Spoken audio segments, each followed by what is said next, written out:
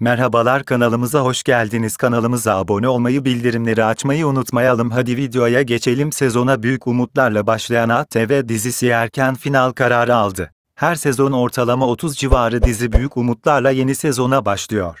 Ancak bunların bir bölümü ne yazık ki reytinglere kurban giderek erken final kararı alıyor.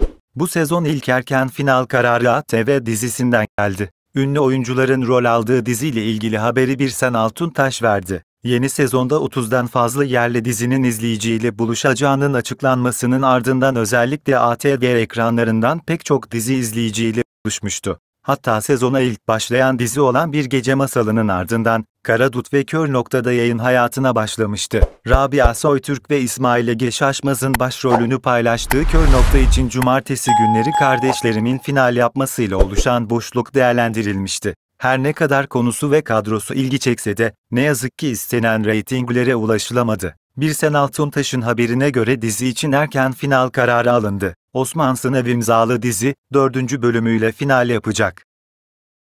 Bu videomuzun da burada sonuna geldik. Başka videolarda görüşmek üzere. Hoşçakalın. YouTube kanalımıza abone olup bildirimleri açmayı unutmayalım. Kanalımızı izlediğiniz için teşekkürler.